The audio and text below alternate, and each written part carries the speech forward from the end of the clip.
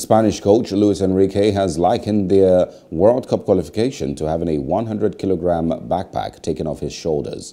They beat Sweden 1-0 in their winner-takes-all group uh, game in Seville thanks to a late goal from Alvaro Morata.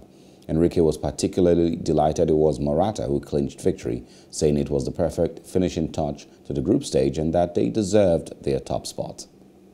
Hello, hope you enjoyed the news. Please do subscribe to our YouTube channel and don't forget to hit the notification button so you get notified about fresh news updates.